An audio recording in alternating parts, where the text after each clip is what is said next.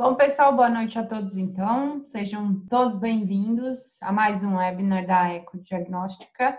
É, iniciando aqui nossos trabalhos, é, eu sou Daniele Silvano, né, gerente de linha da Eco é, Diagnóstica na linha veterinária. Sou médica veterinária e vou, então, aqui intermediar esse webinar junto com o professor João, né? E uh, o tema de hoje né? Lembrando que esse webinar faz parte de um projeto de educação continuada, de vários webinars que nós estamos realizando para fomentar aí a educação continuada na veterinária em busca de uma veterinária de excelência. Então, queremos contribuir com vocês e também queremos o feedback de vocês, né, através dos e-mails, né, sobre uh, a avaliação de vocês dos webinars que nós já realizamos. Peço que é, é, vocês confiram a caixa de e-mail de vocês ou a caixa de spam, por favor, e nos deem esse feedback lá, que é muito importante para a gente sempre trabalhar é, em melhorias aí e novos temas para atender todos vocês, ok? É, bom, uh, o tema de hoje, então, para a gente começar a nossa conversa, é sobre pancreatite e os critérios para o diagnóstico, né? Um tema aí bem interessante é, para nós. É, o nosso é, colaborador hoje é o professor João, né? Talvez muitos o conheçam, professor João Carlos Toledo. Né? Ele tem graduação em veterinária pela Universidade Federal de Minas Gerais, mestre em patologia, também pela mesma universidade, é professor assistente da PUC Minas né? E proprietário do Centro de Diagnóstico em Medicina Animal, CDMA, aqui em Belo Horizonte, né? Laboratório veterinário. Bom, uh, professor João, eu gostaria muito de agradecer a sua, a sua colaboração hoje aqui conosco, a sua presença, né? É, acredito que o microfone dele ainda esteja fechado, agora sim, aberto. Boa noite, professor João. Obrigada aí pela sua presença, pela sua disponibilidade em colaborar conosco em mais um webinar, né, aqui com a Ecodiagnóstica, em parceria com o CDMA e a sua presença.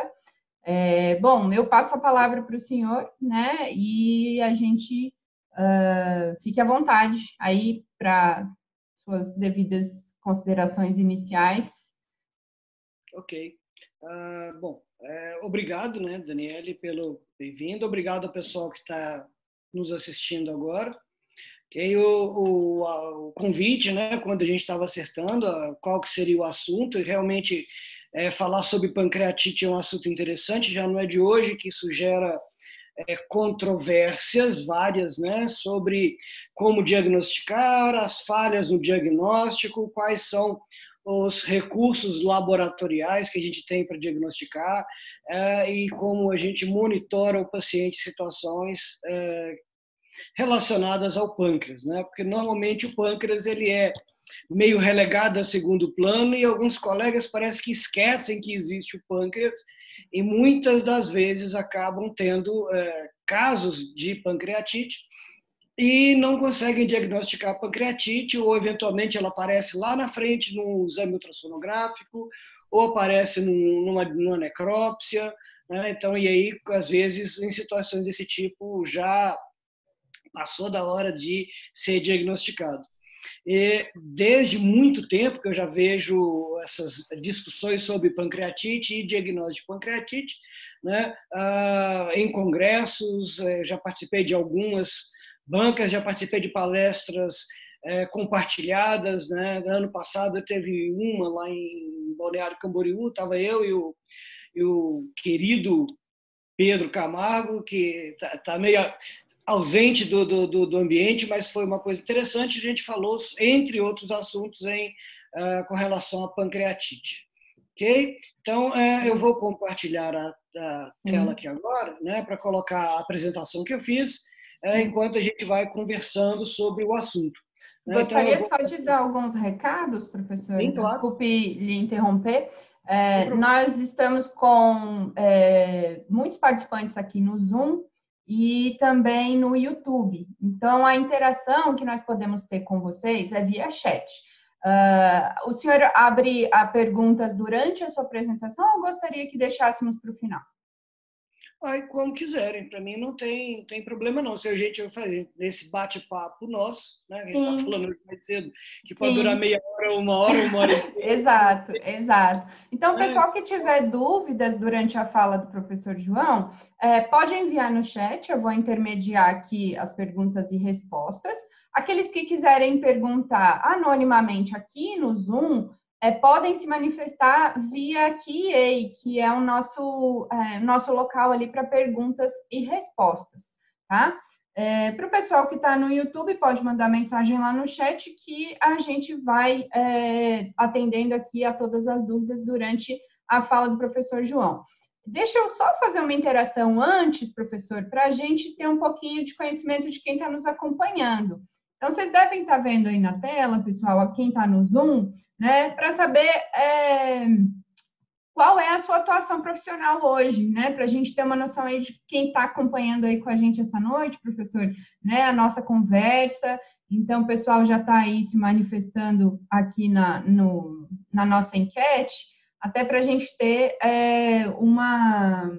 para a gente se aproximar aqui, né, da nossa conversa, saber um pouquinho mais da abordagem e do, do direcionamento aí na nossa conversa. Acredito que todos já tenham é, se manifestado aqui, então eu vou agora compartilhar a, a respostas, as respostas com vocês, tá? É, então, a gente tem aí muitos estudantes de veterinária, o professor João é um nome muito é, querido aí entre muitos, né, professor, pela sua história, né? Então, é um prazer tê-lo aqui, realmente. E ao ver pelos estudantes aqui, acredito que muitos sejam seus alunos.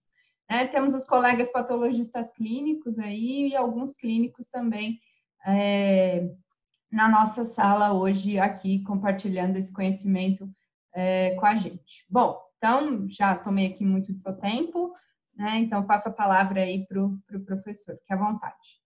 Ok. vou compartilhar para a gente pegar lá a apresentação. Ok. Você não me deixou compartilhar, não. Não?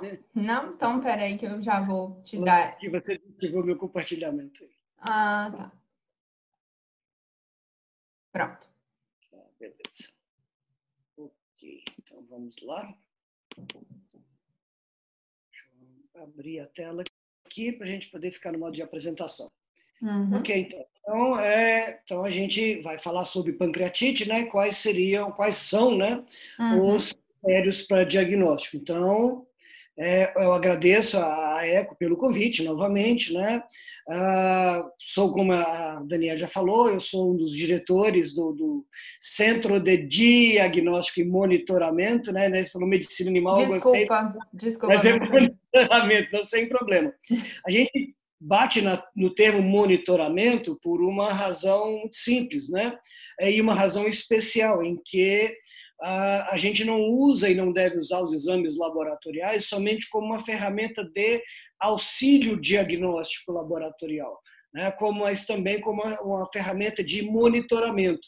E quando eu falo em monitoramento, eu falo em repetição de exame, né? e quando é que a gente vai, vai olhar isso daí, comparar parâmetros, comparar os resultados em momentos diferentes, Uhum. Para que você monitore eh, se o seu paciente está respondendo bem ao tratamento ou não, e até lá no final, que conclua pelo final do tratamento baseado em, em monitoramento laboratorial. Okay? E agradeço a PUC Minas, que é a universidade para a qual eu trabalho e leciono. Uh, muito bem, né? Então, o, o, que a gente começa falando, né? O que, que pode complicar no pâncreas quando esse pâncreas uh, resolve não trabalhar direito? E aí a gente lembra né, que o pâncreas ele é dividido na sua porção endócrina e na sua porção exócrina. Né? Hoje a gente vai falar da porção exócrina do pâncreas, que a porção endócrina, o principal problema seria uh, o diabetes mellitus. Mas uh, quando eu tenho que adoece por alguma razão, eu não consigo separar a sua porção exócrina da sua porção endócrina. Então, pode ser que várias das complicações que você vai enfrentar com o seu paciente com pancreatite envolvem exatamente a função desse pâncreas endócrino. Então, o seu paciente começa com a pancreatite, que pega lá a porção exócrina, que produz as enzimas que participam da digestão, Okay? E desta forma, depois vai acaba diagnosticando com um quadro mais avançado do paciente já com a disfunção ou com a insuficiência endócrina daquele pâncreas, ok? O pâncreas é uma glândula que faz parte do trato gastrointestinal. Então, se ele faz parte do trato gastrointestinal, as alterações envolvendo esse pâncreas se refletem, principalmente na sua porção exócrina, se reflete lá a, no trato gastrointestinal do nosso paciente, ok? Então são as coisas que a gente deve se preocupar de uma maneira global e não somente com uma maneira pontual quando a gente falar de, de pâncreas. Ah, então, quando e por que que a gente deve suspeitar de uma pancreatite? Né? Então, o que é que pode ter o nosso. Vou minimizar nossas telinhas aqui. Uh, o que, que pode ter que a gente vai começar a suspeitar de uma pancreatite? Essa aqui é a dúvida. Então, quando é que eu tenho a necessidade ou a suspeita clínica de uma pancreatite e eu vou é, solicitar alguns exames? Várias vezes a gente já conversando com colegas da área de clínica, né? E eu também sou clínico. Antes de ser patologista clínico, eu comecei a trabalhar como clínico, que com colegas da área de clínica, com colegas da área de patologia clínica, que falou então com pacientes dessa forma, tal tal quadro, é que a gente poderia pensar sobre isso, né? Eu falei assim, você pensou em pâncreas? Pâncreas? Ah, não, não tinha pensado em pâncreas ainda. Okay? Então, o que, que leva a gente a suspeitar em um paciente doente que todo aquele quadro que ele está manifestando clinicamente tem a ver com uma doença do pâncreas? Ok?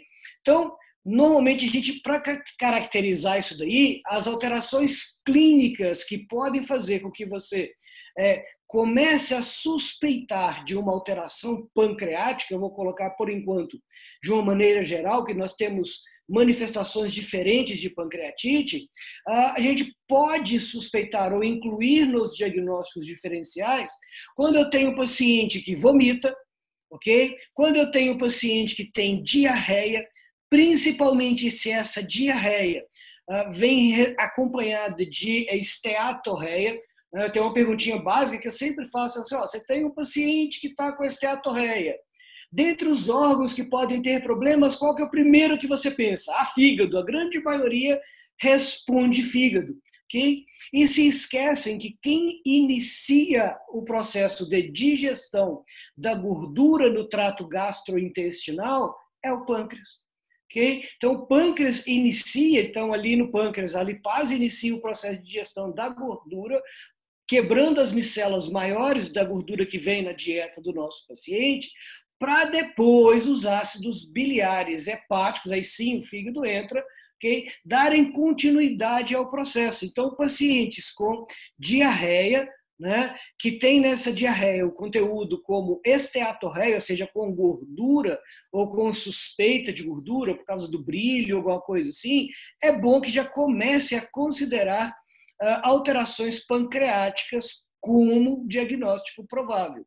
Okay? Então, pacientes que têm diarreia, têm vômito, acabam evoluindo para desidratação, esses pacientes devem ter, é recomendado que se tenham lá entre os diagnósticos diferenciais dele, as doenças do pâncreas, ok? Pacientes que têm hiporrexia ou anorexia, ou seja, aquele cãozinho que está é, recusando o alimento, e aí quase qualquer todo tipo de alimento, ele não aceita, seja ração, seja alimento caseiro, alguma coisa assim. Né? Pacientes que, mesmo se alimentando, não evoluem ganho de peso, animal que come, mas perde peso? Esse aqui é um quadro um tanto quanto exagerado, mas eu já vi animais com pancreatite crônica já descompensada evoluindo para caquexia. Okay? E muitas das vezes estava se pensando em outros diagnósticos, pensando em síndrome paraneoplásica, pensando em outros diagnósticos mais complicados, quando o quadro do animal era ah, uma pancreatite. Okay?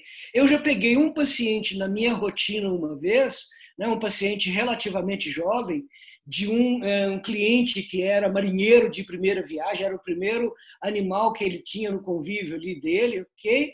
E ele relatou para mim na, na, na amnese que o animal tinha, né, eu fui perguntando, fazendo a anamnese, como era o aspecto das fezes dele, ah, já que a principal reclamação era o animal, que aos seis meses de idade ele não ganhava peso, que ele estava emagrecendo progressivamente e não estava prostrado nem nada, tinha um bom apetite, que não era, não tinha anorexia ou hiporexia, mas ele não ganhava peso apesar de se alimentar direito.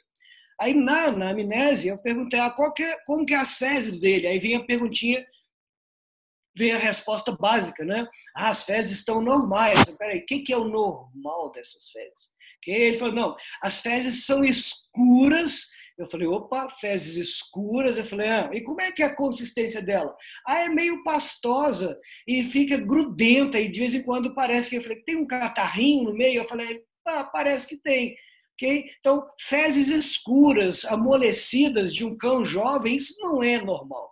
Ok? Então, às vezes, é, o histórico de alterações envolvendo no trato gastrointestinal, má ou uma digestão, seja de proteína, de gordura, né, de amido, pode ter como causa disso pancreatite ok?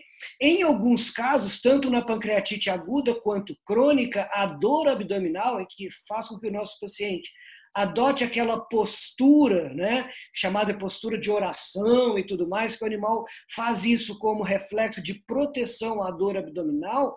Então, também pode é, estar presente, e normalmente está presente é, em cães ou gatos com pancreatite. Então, ah, não Perda de, de, apetite pode ser, animal que não perde apetite, mas não ganha peso, pode ser.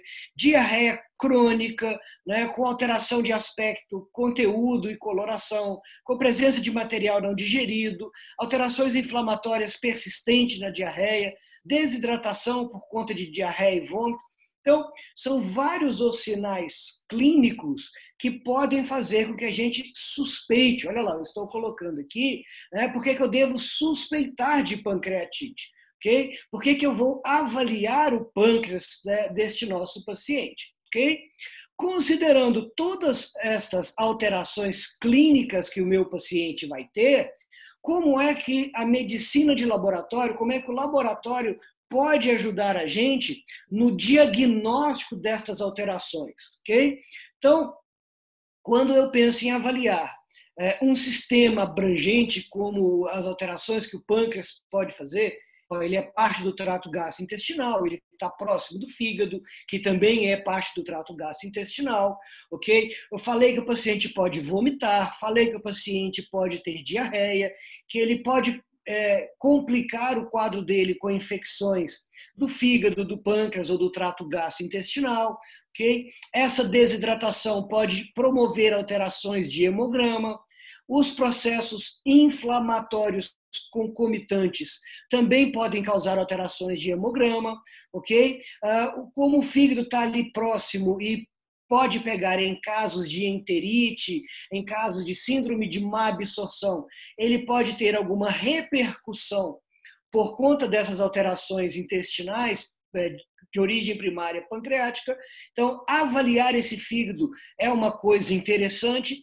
Ah, o, qual o impacto das alterações de volemia do seu paciente com vômito e diarreia, né? do seu paciente com toxemia em cima do rim, ok? Então, quando a gente fala rim, a gente tem que lembrar que para avaliação laboratorial da função renal, além da parte de bioquímica sérica, né, que é no tubo lá sem o EDTA, para avaliar o soro do nosso paciente, eu tenho que considerar é primordial e essencial, por assim dizer, que o nosso paciente também é, faça o exame de urina né? Porque só assim, pegando a parte de bioquímica sérica e de urina, ele consegue avaliar o rim. Então, no meu paciente com pancreatite, ele tem repercussões hematológicas que eu tenho que fazer o hemograma para ver quais são essas repercussões hematológicas. No meu paciente, se ele tiver alguma coisa, alteração do fígado, eu tenho que fazer uma análise bioquímica da, da função hepática dele ok? Ah, conforme essas alterações clínicas que o meu paciente tiver, para conseguir determinar o que, que eu vou tratar. Tá ok? Isso considerando que vai ter repercussão renal, vai ter repercussão hepática, repercussões hematológicas e podendo ter também outras repercussões, ok? Uh, muito bem. E depois nós temos quais são as complicações específicas do pâncreas. Já que eu estou falando na possibilidade de uma pancreatite primária, né, que ela pode ser tanto primária quanto secundária, dessa da necessidade, quais seriam os critérios que eu vou ter que adotar para avaliar esse pâncreas, ok? Então, o que a gente tem de é, observação é que em qualquer processo que evolua de uma pancreatite, de uma hepatite, por aí vai, eu vou ter a presença de fatores de inflamação. Olha aqui a importância do hemograma nesse momento, para avaliar se o meu paciente tem ou não tem uma inflamação, se essa inflamação é uma inflamação aguda, se não é. Já tive pacientes com pancreatite por trauma, Tá? Paciente com histórico de atropelamento, de briga, pode acontecer isso daí. Então, a liberação desses fatores de inflamação associados ao estresse oxidativo do próprio processo inflamatório, okay, que vem via vascular, eles acabam chegando no pâncreas e, de alguma forma, ele vai causar aumento de permeabilidade ou necrose das células pancreáticas. Aí, quando eu falei que não dá para pensar no pâncreas de forma isolada, o que pode se iniciar como uma pancreatite exócrina, que a gente usa o termo pancreatite para falar mais da porção exócrina do pâncreas, ela pode evoluir com o tempo né, para complicações do tipo diabetes mellitus. ok?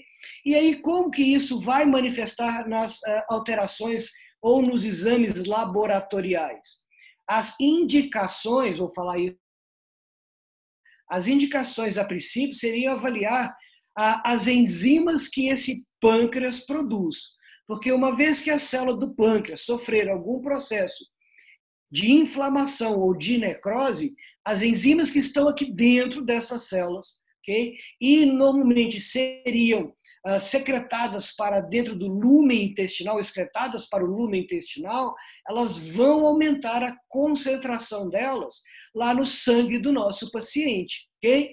Aí entra, né? A dosagem da amilase sérica, que tem algumas eh, limitações, né, com relação à questão lá de especificidade e sensibilidade, ok? Eu vou falar delas agora com um pouquinho mais de detalhe.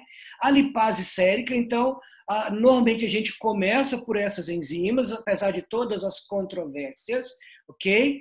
A gente tem é, a participação do rim de maneira ativa na concentração dessas enzimas, que a partir do momento em que essas enzimas saem do pâncreas em processos inflamatórios e aumentam a concentração dela ah, lá no, no, no sangue dos nossos pacientes, essas enzimas vão sofrer excreção renal e tendem a sair na urina, ok? Então, se eu tiver um paciente desidratado ou que fizer azotenia por conta de uma doença renal, eu já tinha falado da necessidade né, de avaliar pensando em uma concomitância de doença renal, esses valores séricos de amilase e lipase, eles vão aumentar. Então, eles podem aumentar até três ou quatro vezes o valor de normalidade mais alto dele. Então, eu tenho que pensar que em um paciente azotêmico que tenha a azotemia pré-renal ou mesmo renal, né, o valor de amilase e lipase podem e vão aumentar correlacionado com essa doença renal ok? Então eu teria que descontar, né, de uma forma é, subjetiva com uma margem de erro e só considerar que a amilase lipase seria pancreática a partir do momento né, que, o, que o valor tivesse acima desse valor aqui da, da diminuição da função glomerular. Ok? Então, sempre que a gente for é, dosar amilase e lipase, quase que é obrigatório que você faça a dosagem de ureia e creatinina para avaliar se o rim do meu paciente é, está funcionando bem ou mal. Então, essa, inclusive, é uma das razões de se determinar uma menor sensibilidade e especificidade para amilase e lipase ok?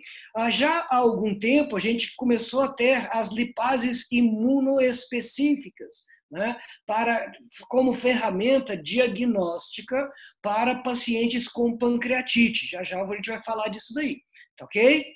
Depois, uma vez que eu já tinha falado do possível envolvimento né, eh, da, da, da, porção endócrina do pâncreas, as avaliações glicêmicas, as dosagens de glicose do meu paciente com pancreatite ou com possível pancreatite ou no monitoramento do comprometimento da perda de função pancreática, né, ela é extremamente importante, ok?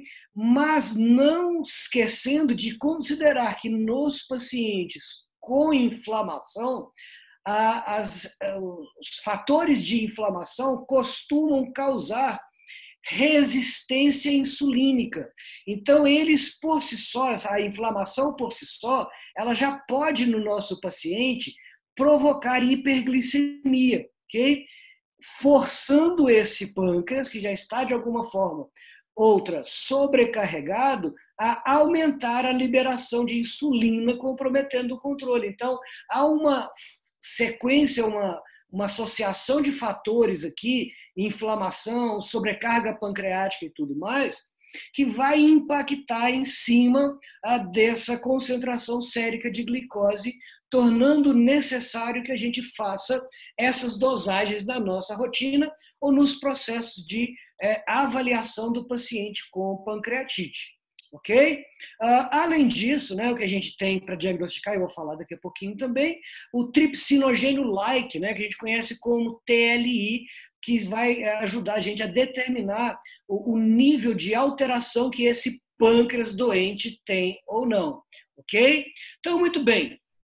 Então, aqui eu tenho dois quadrozinhos com as suas variações que podem ajudar a gente a trabalhar um pouquinho a questão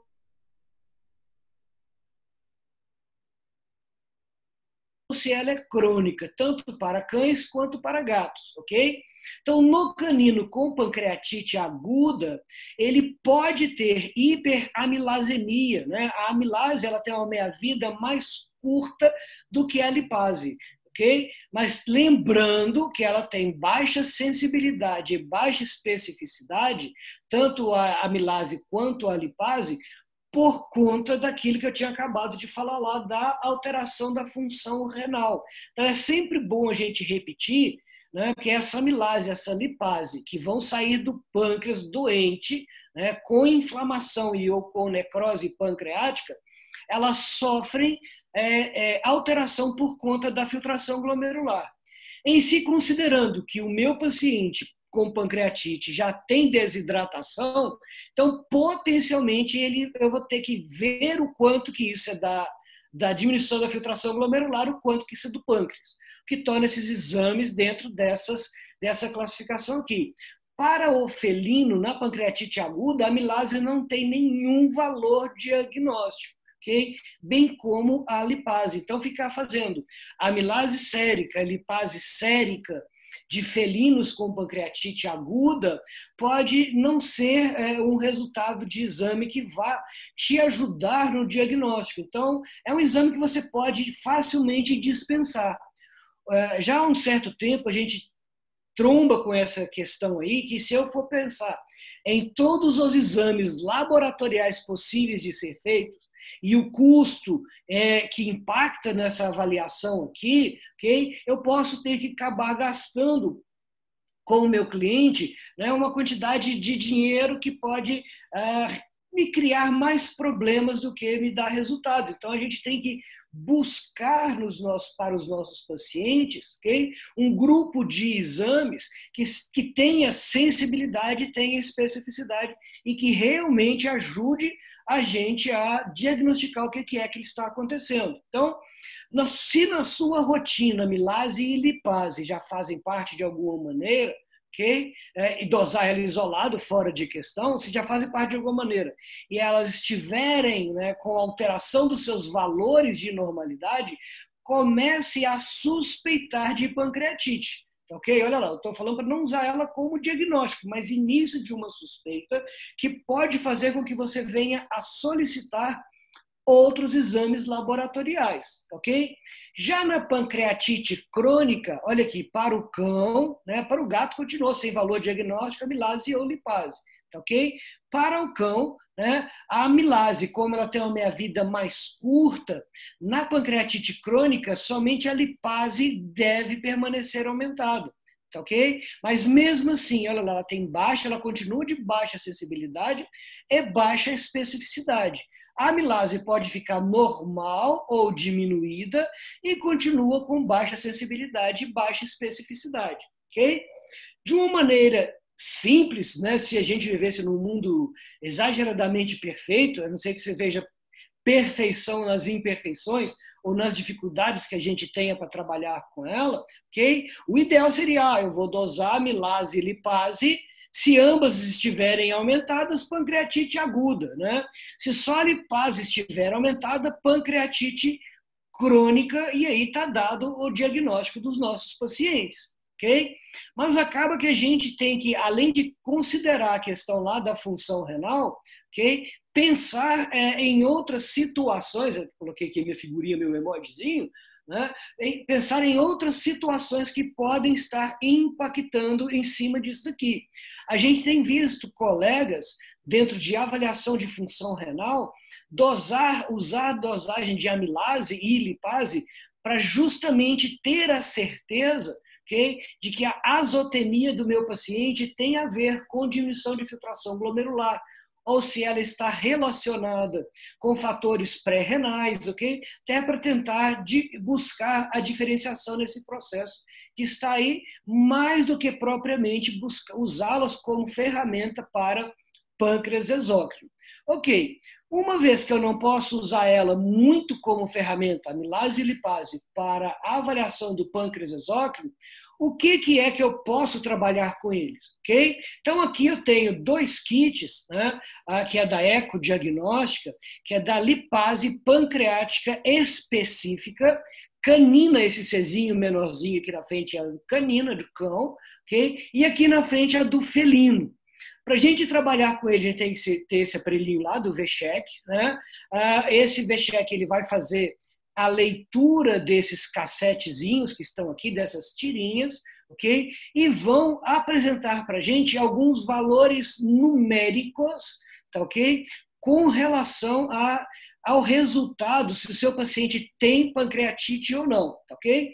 Ele é um teste é, fácil de fazer, tá ok? Ele não exige muita, não demanda muita complicação, nem tanta estrutura, o equipamento ele é pequeno, ele é leve, Tá ok? Então, ele é, trabalha com um volume pequeno de soro do seu paciente, 25 microlitros de soro, que se eu precisasse de um volume grande de soro, isso poderia gerar um problema com relação à amostra, porque normalmente, se você já encaminha a amostra para o laboratório, então no CDA a gente trabalha com esse kit quantitativo da, da, da ecodiagnóstico, que então se você enviou lá e você quer a fosfatase alcalina, a LT, a ST, gama GT para avaliar fígado, ureia, creatinina, né? É, vou fazer avaliação, é, outros parâmetros, vou fazer dosagem de eletrólitos e tudo mais. Será que vai sobrar poder fazer a dosagem da lipase específica, canina ou felina, ok? Pensando que eu vou trabalhar com um volume de amostra muito pequeno, é bem provável que sim. Então, é, vale sempre a pena consultar o seu laboratório de referência para ver né, se é, sobrou a amostra daquele seu paciente e se aquela amostra é suficiente, uma vez que você já teve a sua atenção despertada pela alteração lá dos valores de amilase e lipase ou as alterações de hemograma, tem um histórico igual o histórico que eu já falei, eu falar, aí você aumenta a sua especificidade. Então, você pode, inclusive, chamar o seu cliente e mostrar para ele, falar, olha, esses parâmetros alterados que aqui estão né, são sugestivos, junto com essas alterações clínicas, de pancreatite. Então, agora, eu pode ser que a gente precise, agora vai ser necessário a gente faça um teste mais específico tá ok? Então, olha aqui, eu tenho um kit para felina e tenho um kit para o cão, para canino. Então, se eu não dá para ficar usando, porque essa lipase ela é mais específica, né? no processo de avaliação, eu fazer uma lipase qualquer ou trabalhar com outra, já que eu estou buscando né, o ideal no laboratório é que a gente trabalhe com exames de boa sensibilidade e de boa especificidade, na tentativa de é, diagnosticar, tá ok? Então, esse exame da eco, ele é, é para, é um exame quantitativo, tá ok? Além desse da eco... Oi, Posso só fazer uma observação aqui? Dentro daquela nossa interação que nós tínhamos comentado, acho que é interessante a gente é, saber dos nossos participantes, né?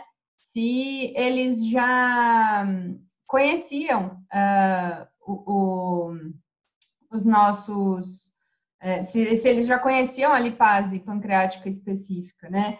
É, como eu tô, eu, eu tô sem permissão aqui para interagir, porque eu acabei trocando com o senhor para poder compartilhar, mas o pessoal que, que já conhece ou que já utiliza, né, se puder colocar ali no chat para a gente poder interagir, né? E, e conhecer e, e saber é, se vocês já tinham conhecimento dessa ferramenta diagnóstica.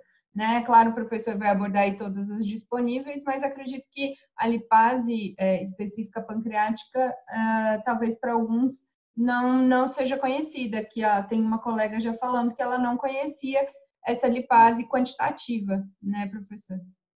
Sim, tá. É, é por isso que a gente já começa por ela, né? Exato. Então, assim, sem, é, continuando aqui, né, só para a gente ir lá, ok? Então, assim, o que eu falei, pode ser um bate-papo, pode me interromper, sem problema nenhum, qualquer hora que você achar conveniente ou, o que precisar. Estamos extremamente tranquilos com relação a isso daí. Ok. Uh, muito bem, então, como a gente já falou, né, essas duas lipases pancreáticas, né, que a ecodiagnóstico tem, no mercado existe também uma outra. Uh, uma outra lipase específica, canina e felina, tá ok? Uh, que é a da IDEX, que é um, é feito por Elisa, ele é um, um snapzinho, né? Esse snapzinho, ele é qualitativo, ele não é quantitativo ok? Então, essa é uma diferença entre o, o testezinho lá da ecodiagnóstica e o da IDEX, ok? Em que, por material da própria IDEX, como está aqui para vocês verem, a gente também já trabalha, trabalha com os dois kits, de maneira a atender a, rotina de, e o que vocês quiserem fazer isso. Né? Então, a gente, enquanto laboratório, a gente busca ter as ferramentas possíveis de trabalhar com ela no mercado, ok? E enquanto ele é qualitativo, Uh, esse SNAPzinho ele vai te falar, né? No caso de pancreatite, de alterações anormais, ele dá é, um score, né? score 1, 2 ou 3, mas o quantitativo dele seria 1, 2 ou 3, mas ele não te fala é, diferente lá do da ECO, ok? É a questão aí, eu fico bem tranquila, principalmente pela Daniela estar aqui, que eu não sendo patrocinado por ninguém, eu tenho a liberdade é, de falar da minha experiência com os dois, ok? A própria Ecodiagnóstica tem artigos, e vocês podem pedir para a Daniele depois, ela com certeza passa esse material de divulgação aí, é, comparando métodos e tudo mais, um publicado na Dinamarca, outro em outro lugar, mostrando que, é, em termos de qualidade de resultado e de especificidade, eles são é, bem semelhantes, ok? Então, olha aqui, mesmo dentre as espécies, tá? Lembrando lá que a amilase lipase sérica tem os seus problemas de sensibilidade e especificidade, a AIDEX fala em 82% de sensibilidade para o canino com 96% de especificidade, ok?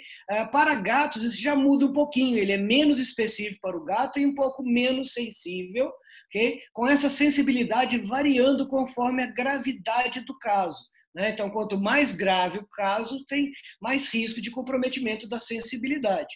ok? Então, ele tem aqui, dentro desse normal, olha lá, valores menores do que 200. Né? Depois, o anormal ele pode ficar entre 200 a 400 ou maiores do que 400. Okay? Então, essas informações que eu mostrei para vocês, elas estão aqui. Tá ok? O que nos deixa com a perguntinha, né, vamos pular isso aqui, entre o quantitativo e o qualitativo. O que, que é o melhor para a gente trabalhar? Tá ok? Então, o que, que eu tenho aqui? Nessa tabelinha, né, esse cãozinho aqui de carinha, vamos falar com essa carinha invocadinha, meio tristezinho, né? Ah, o que, que ele tem aqui?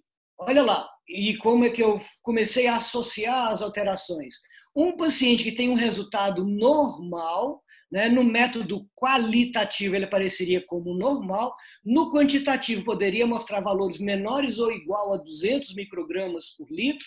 Okay? Além dessa pancreatite, okay? considerando as alterações clínicas que o paciente tem, dentro daquelas que eu já te falei, olha a recomendação: investigue a avaliação de é, como andam os rins do seu paciente e como anda o fígado desse animal. Tá ok? Se o valor estiver entre 201 a 399 microgramas por litro, ok? Já é considerado um valor elevado de um paciente com possível pancreatite. Então, se você já tinha uma suspeita clínica, paciente perdendo peso, né? alterações hematológicas, alterações clínicas. Se ele começa a pegar um valor desse tipo aqui, ele já é um paciente com possível pancreatite.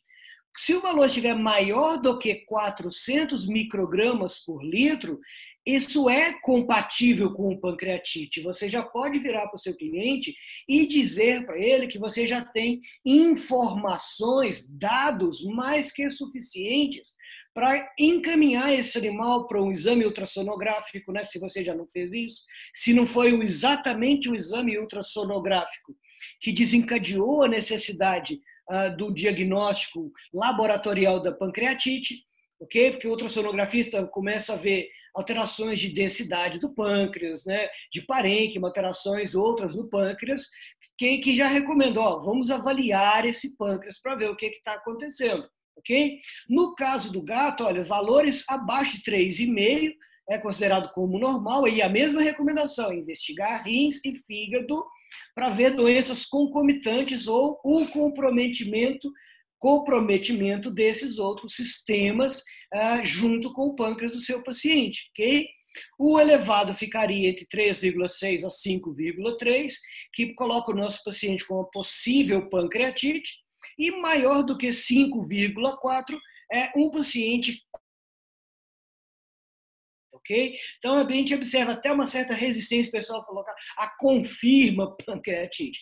Mas a partir do momento que eu já falo que é compatível com a pancreatite, eu estou te tecnicamente confirmando, junto com as alterações clínicas, lembrando que são exames que não são aí é, 100% específicos, nem 100% sensíveis, porque isso literalmente não existe. Né? Então, você não vai ter nenhum exame laboratorial que seja absoluto na determinação com relação à sensibilidade e especificidade dele. Né? Então, é, é essas enzimas aqui, então, para quem não conhecia a lipase pancreática imunoespecífica, olha a ferramenta de auxílio de diagnóstico para o seu paciente ou direcionamento que você estava perdendo. Tá ok? Então, normalmente hoje, é, os laboratórios, igual falei, igual o exemplo do CDMA que eu represento, a gente já tem os dois kits e cabe a você, cliente do laboratório, né, é, co colaborador do laboratório ou colega do laboratório, já começar a pedir ou começar a avaliar a necessidade de você incluir esses testes de lipase pancreática imuno específica canina e felina, ok? Então, após esse slide, eu volto lá na perguntinha. Quantitativo ou qualitativo? Qual que é o melhor exame? Okay? Eu não vou expressar a minha opinião porque eu trabalho com os dois, ok? Eu vou deixar, após as informações que eu coloquei, tá? Eh, e outras informações que vocês também podem obter, qual na sua rotina vai ser melhor? Aquele que quantifica, que te dá um número ou aquele que vai só te falar que tem ou não tem pancreatite, ok? De qualquer maneira, né, esse exame sozinho ele vai ter é, algumas é, alterações, alguns comprometimentos. Então, olha aqui, um artigo publicado em 2018, ou seja, ele é, na Journal Veterinary of Internal Medicine, né, já fala ok? Que ele avaliou é, os testes disponíveis no mercado, não tinha incluído aqui o quantitativo da ECO, tá ok? Mas ele já avaliou uh, esses testes aqui e ele conclui, olha, eu marquei aqui em conclusão, né?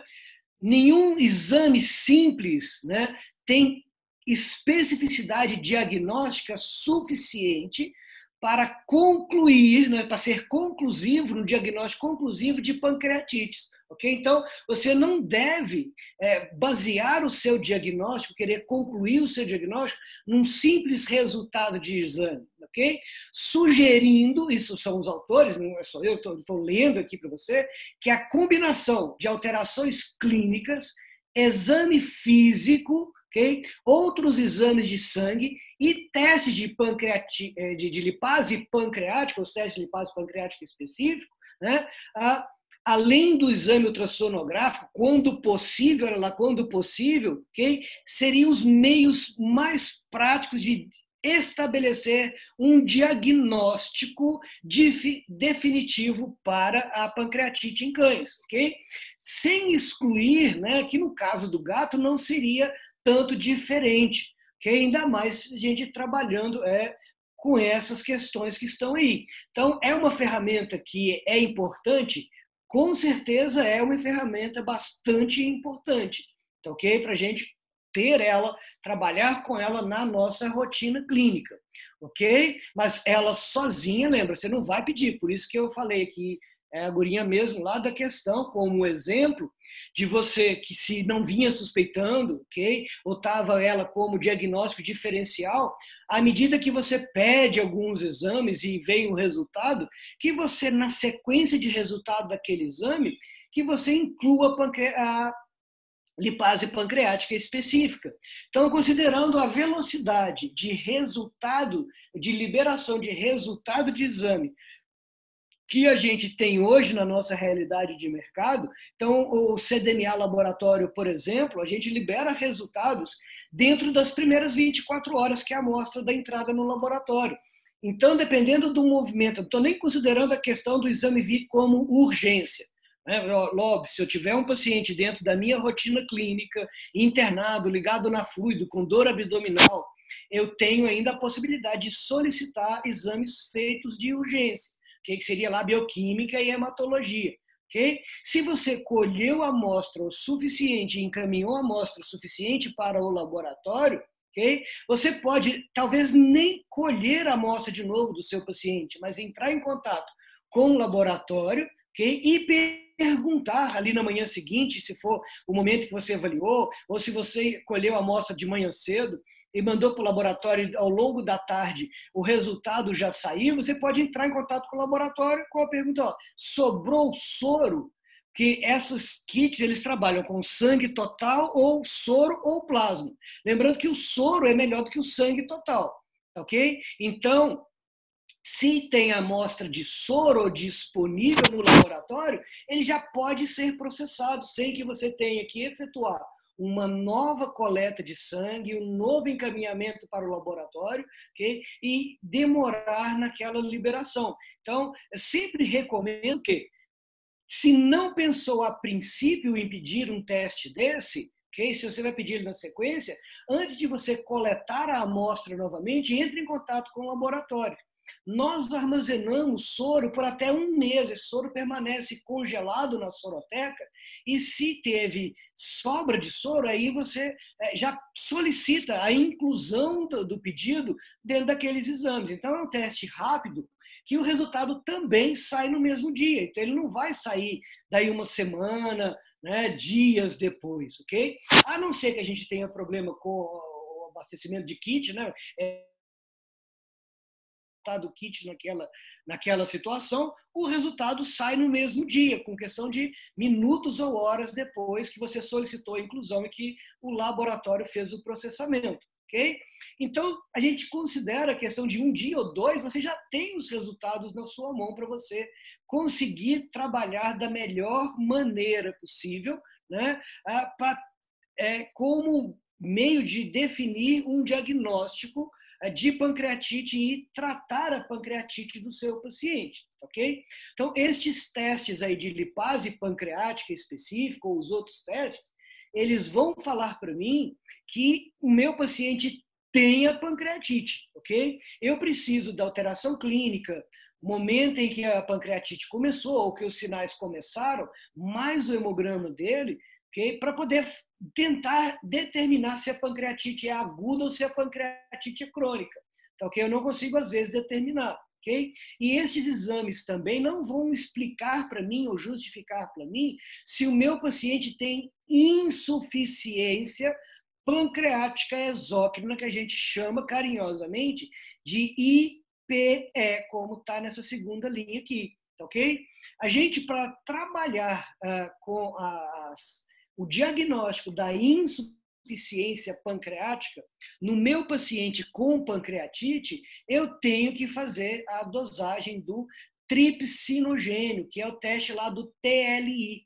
Até um tempo atrás, a gente tinha um kit, né, é, menor, mais barato, mais simples, para equipamentos menores lá da, da Siemens, que usa no Imulite, ok? E é, esse kit ele foi descontinuado por uma questão muito simples, que veterinário não pede o exame. Então, é, é uma coisa que nos causa dentro do laboratório uma aflição, porque muitas das vezes os colegas clínicos não pedem os exames e os fornecedores do kit, por não vender, eles acabam retirando os kits do mercado.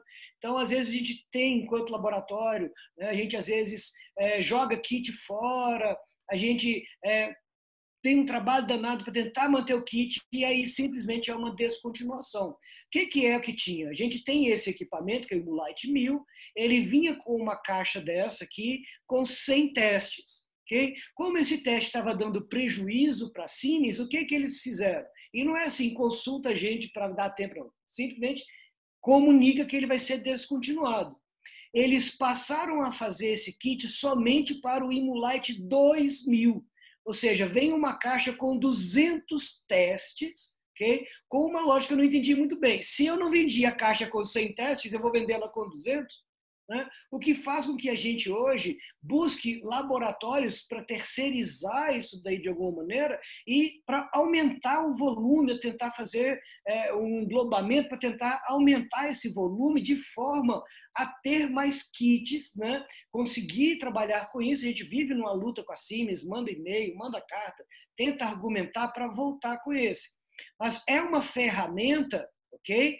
Que confirma a insuficiência pancreática exócrina quando a dosagem dessa concentração de tripsinogênio no sangue do meu paciente estiver abaixo do seu valor de normalidade. Então, para não ficar memorizando números, ok? Então, simplesmente pega a faixa de normalidade que o laboratório apresenta para você lá no resultado do exame. Se esse tripsidogênio estiver abaixo do resultado do exame do seu paciente, da, da normalidade, se ele já tiver sido confirmado pelos outros testes como portador de pancreatite, ok? Além dele ter a pancreatite, essa pancreatite tem é, insuficiência pancreática endócrina?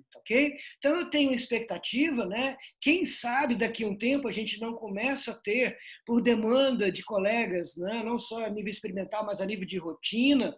Quem sabe a Eco que vai ouvir essa gravação já não pensa em fazer um kit de dosagem de uh, tripsinogênio para associar com as dosagens de lipase específica, para a gente ter o diagnóstico de uma maneira mais ampla. O meu paciente, além de ter pancreatite, será que ele também tem insuficiência pancreática? Okay? Hoje, quais são os critérios para esse diagnóstico?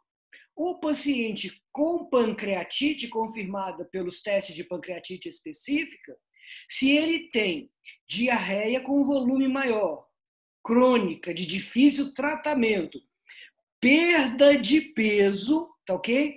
A gente pode fazer testes de digestão de amido, testes de digestão de gordura, ok? Entrar na dieta do paciente com enzima pancreática, tá? E acompanhar a recuperação do animal. Então, o animal que vinha com caso clínico, diagnosticado com pancreatite, vinha lá perdendo peso, com diarreia e tudo mais, eu associei enzimas pancreáticas na dieta dele e ele apresentou melhora do quadro, melhora da diarreia, esse é um potencial paciente portador de insuficiência pancreática exócrina. Então, ou seja, ao invés de eu partir do exame laboratorial para confirmar a insuficiência pancreática exócrina, eu estou partindo de um diagnóstico terapêutico tá ok? Para determinar se o meu paciente tem ou não tem insuficiência pancreática exócrina. Aí sempre tem um problema envolvido nesses processos.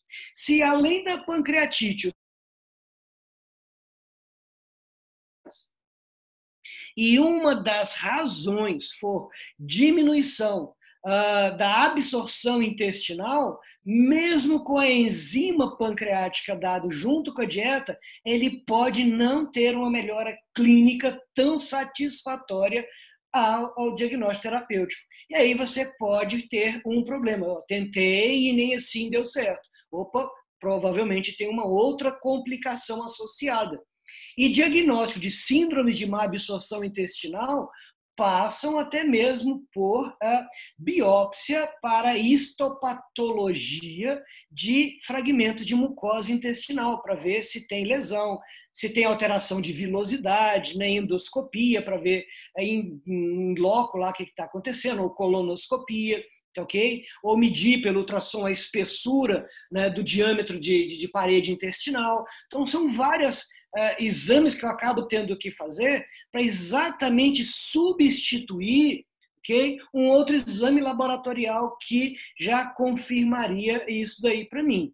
ok? Então aí o TLI, né, ele tem uma sensibilidade até baixa, né, né, de 33% para o cão, 28% para o gato, com uma especificidade de 65 a 75, mas é uma ferramenta que associada a clínica do seu paciente, né? voltando ao dito que está aqui, é, associada, combinada com alteração clínica, com exame físico e outros testes laboratoriais, você conseguiria avaliar o pâncreas do seu paciente okay? de uma forma mais adequada, porque só assim eu vou conseguir investir de maneira correta com o resultado de exames do meu paciente e ter com ele, ter ah, no tratamento, uma resposta satisfatória ou poder dizer para o meu cliente qual vai ser o prognóstico daquele animal. Okay? Ele vai melhorar, ele não vai melhorar, a melhora é a longo prazo, a melhora pode ser a curto prazo.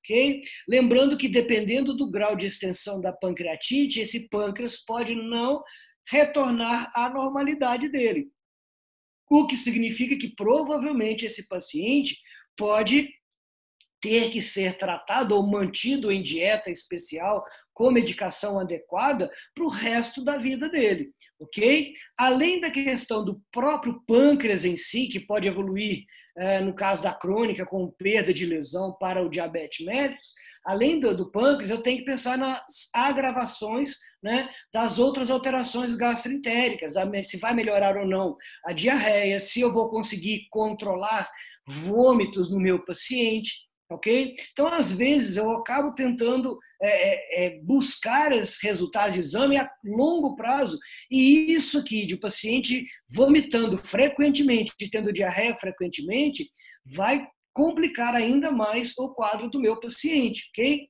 Isso leva a desequilíbrios eletrolíticos, com alteração de bicarbonato sérico, né, sódio, potássio, cloreto, ok? Fazendo ele desenvolver acidose ou alcalose metabólica por essas alterações.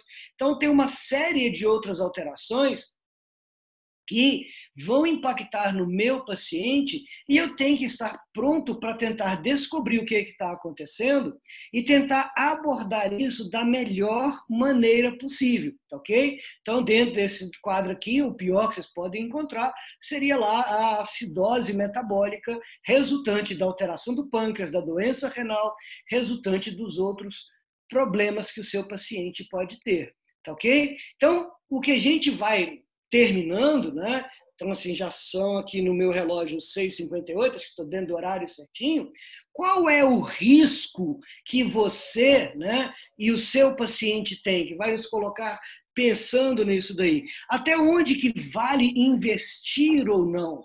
Ok? Qual que é o comprometimento desse paciente seu que vem perdendo peso, ah, que vem com seu cliente bastante incomodado com aquela situação e muitas vezes com um histórico chato para nós que somos médicos veterinários, né? Então, Qual é o histórico chato? Olha, eu já passei no veterinário fulano, no veterinário ciclano, no veterinário Y, no veterinário X.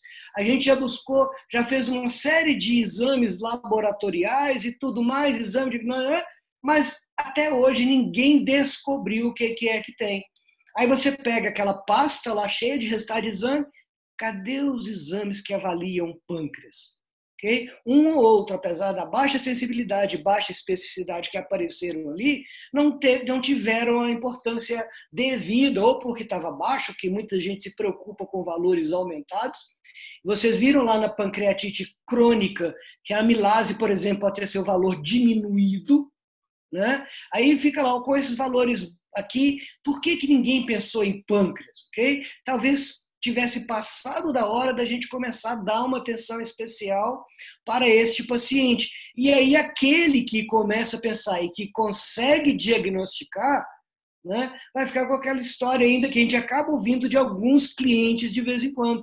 Ah, mas por que, que ninguém tinha pensado nisso antes? Tudo bem, eu já peguei um histórico, várias tentativas que me ajudaram bastante a chegar naquele ponto até que eu consiga determinar. Mas se eu já tivesse lá no início prestado mais atenção, ou estivesse a par de alguns testes laboratoriais disponíveis, eu já teria pedido isso daí.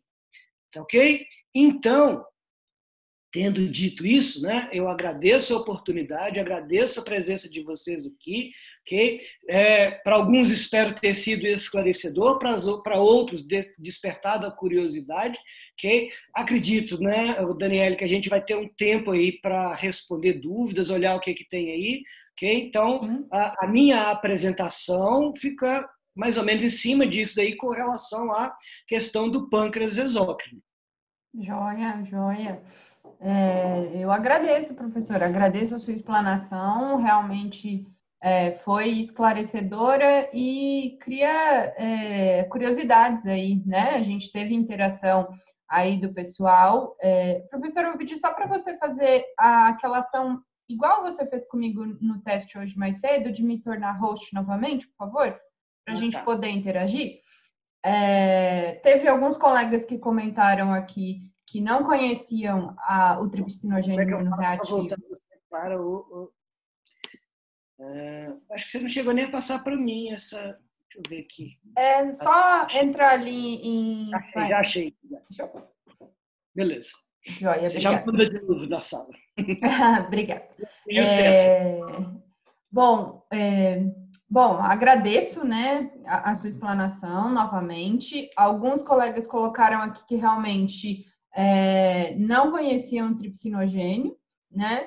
É, um colega aqui, um, um participante perguntou uh, se é, o, o senhor é, fala a respeito da tripsina fecal, né? Se ela seria fidedigna também da pesquisa ah, de tripsina fecal.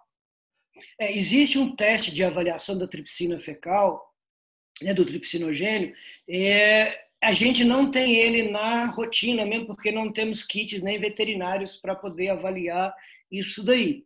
É, não tendo ele na rotina, para gente, quando eu falei lá dos testes, a gente teria que trabalhar com, com fezes, uma das questões é a sensibilidade e a especificidade dele. Tá ok? Porque modificações de pH das fezes, outras alterações das fezes, de uma certa maneira compromete né, a, a existência disso daí. Então, não é um teste feito na rotina, porque ele tem um custo e uma praticidade baixa. Tá ok? Então, isso é feito às vezes em medicina humana, mas mesmo em humano, a gente não tem visto os médicos pedir. Por quê? Porque já tem os testes laboratoriais com uma especificidade melhor ok? e uma praticidade melhor para buscar o diagnóstico. Mas quando eu vou fazer lá pesquisa de enzimas pancreáticas no intestino, ok? esse é um teste possível.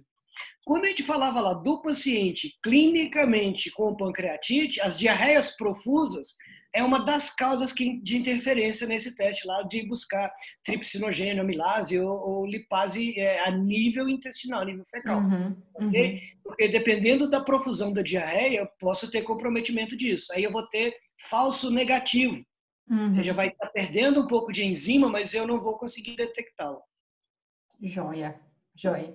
Bom, pessoal, se alguém tiver mais alguma dúvida e quiser mandar aqui nos chats, é, podem ficar à vontade, agora é a hora. A gente tem também o QA ali, que é anônimo, se vocês não quiserem fazer de forma é, é, exposta ali no chat.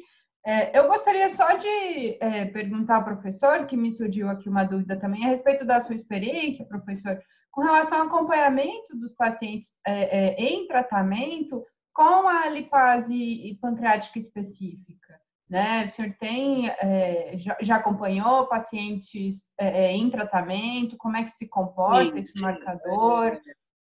A gente acompanha, né? Eu tive uns quatro pacientes em que a gente é, conseguiu fazer esse acompanhamento, okay? mas é, a gente não teve mais pacientes por conta da relação de custo especificamente, uhum. porque gente já tem que avaliar todas as repercussões hepáticas, renais claro. uhum. para poder avaliar disso daí. Então, assim, lembrando agora de cabeça aqui, dos quatro pacientes, três deles recuperaram, passaram a dar uh, os testes como negativo, uhum. entendeu? Uh, desses três, somente um deles é, e o outro que não tinha recuperação uhum. deram TNI com valor diminuído. Então, eram pacientes que já tinham insuficiência pancreática exócrina. Uhum. Então, talvez por isso eles não negativaram nos dois testes que a gente fez. Uhum. E como a gente não fazia isso a nível experimental, a gente fez isso a nível de rotina, né? É, o que, que aconteceu? Eu dependia do cliente bancar a realização do exame. Uhum. Aí, quando ele vinha lá com dois testes na sequência, com intervalos aí de um mês, com resultado semelhante, ia falar, ah, então vamos ficar nesses exames mais, não, vamos gastar dinheiro, já está ficando caro o tratamento, dieta uhum. específica, uhum. né, enzima pancreática e tudo mais, a gente acabou não repetindo isso daí. Okay? Uhum. Já conversei com outros colegas que já têm uma rotina de, de, de, de gastro uh, um pouco maior, okay? e eles falaram que em alguns sim, em alguns não, em alguns eles viram melhora, em outras caíram na mesma situação. O animal uhum. melhora clinicamente, a parte hepatológica melhorou, os outros uhum. sistemas melhoraram e clinicamente ele ficou melhor, começa uhum. a ficar difícil justificar para o meu cliente repetir claro. um laboratorial. Sim. Entendeu? Então, apesar dele ser um teste que também pode ser usado no monitoramento, né? Uhum. olha lá, se aí eu uso o qualitativo não me ajuda no monitoramento, o quantitativo me ajuda. Uhum. Ele vinha por 600, baixou para 400 e já pode representar uma melhora. Né? Baixou para 300 e pouco, isso é uma melhora. Então, ele eh, mostra essa questão de evolução. Isso Bacana. é um padrão de todo teste quantitativo. A vantagem uhum. do teste objetivo é exatamente eu conseguir monitorar, até como uma ferramenta de convencimento ao meu cliente, de eu conseguir monitorar. Mostro para ele, falo assim, olha, tá vendo este valor que está aqui? Daqui a um mês melhorou clinicamente, vamos repetir para ver se realmente diminuiu, ok? Uhum. Isso pode ser uma ferramenta de convencimento. Então, se meu cliente foi convencido da necessidade, da importância da repetição, aí você vai lá e repete, tendo o valor é, pareado, né? ou seja, aquele ó, era 600 no primeiro, deu 400 agora, então mostra que a gente realmente está no caminho correto. Tá ok? Daqueles quatro que eu te falei, um fez questão de ficar repetindo o exame. Sim. Ah, foi o que repetiu mais vezes, ele repetiu três vezes. Uhum. Aí eu não lembro agora de, de cabeça os valores, que já tem um, um ano mais ou menos foi, aliás, foi, o, foi esse, com essa bagunça de, de Covid, essa Estamos já perdidos no tempo. noção de tempo, né? Uhum. Mas foi mais ou menos do final do ano passado para início desse ano, uhum. né? que tinha feito três dosagens, aí na hora que ia fazer uma quarta, ah, os ambulatórios da universidade fecharam, eu não consegui acompanhar o quadro lá mais, e Sim. esse eu perdi um pouquinho de vista, mas tipo, já passou da hora. Né? Claro. De, de fazer o acompanhamento. Mas o quantitativo, enquanto ferramenta de monitoramento, seria esta a questão aí dentro de um raciocínio simples, né? Sim. Eu tinha o número X, se o número vem diminuindo, pode significar é, melhora do quadro clínico, lógico, acompanhado com a melhora clínica do seu do, do paciente que a gente está tratando. Com certeza, com certeza que a gente tem aquela premissa, né, professor? Não tratamos exames, tratamos pacientes. Sim. Né? Sim. É, bom, então, muito obrigada pelo esclarecimento né, a respeito de, dessa questão.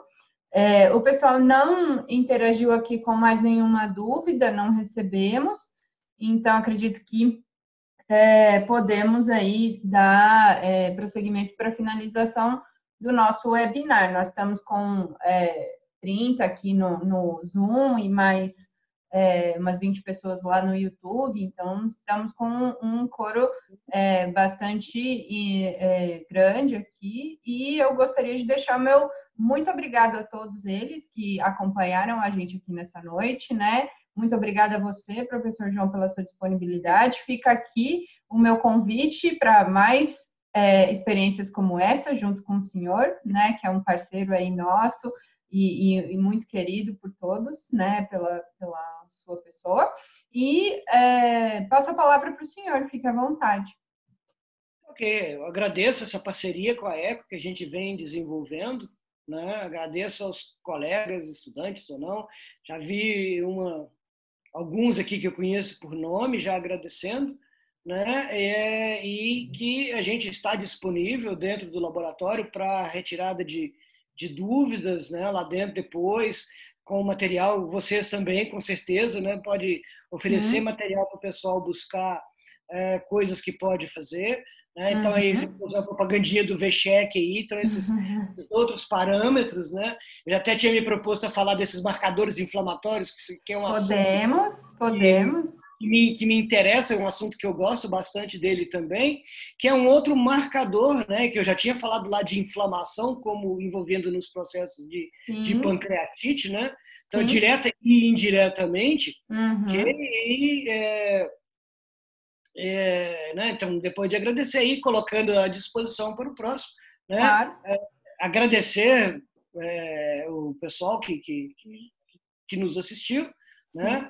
É, isso é uma oportunidade interessante porque a gente está vendo né, se teve uma coisa boa que essa pandemia trouxe para a gente foi exatamente poder explorar essas ferramentas de trabalho ou de, de atualização né, que a gente está tendo que são é, esses é, webinar, são as palestrinhas lá no, no, Instagram e por aí vai, que é uma coisa que às vezes a pessoa chega cansada, olha lá, numa quarta-feira, sete horas da uhum. noite, todo mundo já teve um dia complicado ou não, mas ele senta uma hora, não tem que sair de casa, toma o seu café, tá mais à vontade, isso é uma ferramenta que ganhou força. Então, tudo na vida tem um lado bom e um lado ruim. Sim. Parece esse ter sido o lado bom dessa pandemia. Tinha que ter uma coisa boa. Vamos né? olhar para o lado bom, né? Das coisas. É, é, essa parece ter sido uma coisa boa. Sim. Ok? Ok, muito obrigada, professor. Então, é, vamos sim marcar esse próximo sobre marcadores inflamatórios né? Já fica aqui o convite para todos os espectadores que teremos repeteco de professor João, então, né? E eu gostaria só aqui de apresentar para o pessoal, então, todos os marcadores que o VetCheck é, pode é, oferecer, né? Aí pro, no auxílio diagnóstico, né? Então, a parte de dosagens hormonais, marcadores inflamatórios, os marcadores pancreáticos que o professor comentou, na sua explanação o SDMA para avaliação de função renal, né, marcadores cardíacos como risco trombótico em dímero D e é, com dímero D e é, avaliação também de alteração cardíaca através do NT-proBNP e a titulação de anticorpos aqui para avaliação de resposta imunoprotetora, né? Então fica aqui é, para vocês, opa, Fica aqui para vocês, ah, então, o nosso portfólio né, de, de possibilidades aí diagnósticas e o nosso muito obrigada pela participação de vocês aqui hoje nessa noite e também ao professor João, mais uma vez, obrigada. Eu desejo a todos uma boa noite, né? E que a gente se encontre no próximo webinar da Ecodiagnóstica que vão continuar aí acontecendo é, muito em breve.